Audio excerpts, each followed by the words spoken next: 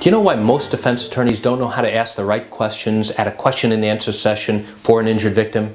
Would you like to learn the answer? Come join me as I share with you this great information. Hi, I'm Gerry Oginski. I'm a New York medical malpractice and personal injury trial attorney practicing law here in the state of New York. When you bring a lawsuit, whether it's for medical malpractice, for an accident case, or even a wrongful death case, at some point during the litigation process, you as the injured victim will have to come in and testify in what's known as a pretrial question and answer session. That's also known as a deposition or an examination before trial. And that gives the defense, the attorney who represents the people you have sued, an opportunity to question you, to find out things like what happened in your own words, to find out what problems you have as a result of that. Let me share with you why I believe many defense attorneys who come in to question the injured victim at their deposition do not ask the right questions. The reality is that most defense attorneys who are coming in to question the injured victim are inexperienced attorneys. They're the junior associates and they get that assignment. Why? Because they are not permitted to go ahead and represent the doctor or represent the people that are being sued until they get sufficient experience. So typically what will happen is that the junior associate will come into the question and answer session with a stack of typewritten questions.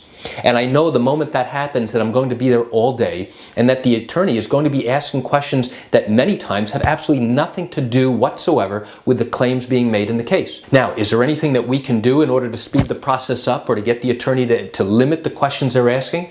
The answer is no, because this is known as discovery. And the defense attorney does have a legal opportunity to ask you many different questions, even if they are not directly on point with the key issues or claims being made in the case. So that tends to be a very frustrating experience for you, the injured victim, as well as for me, because I have to sit there as well, listen to it, and if I feel those questions are inappropriate, I have to make an objection and then allow the witness to answer. Now, why is this a big deal?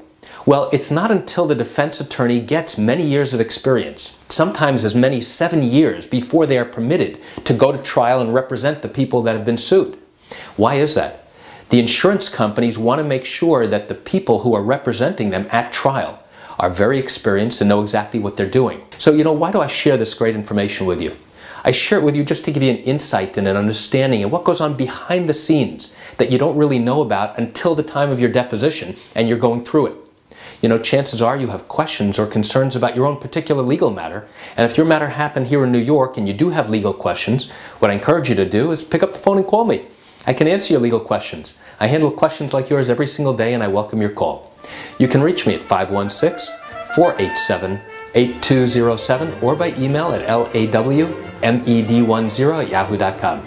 I'm Gerry Oginski here in New York. Thanks so much for watching.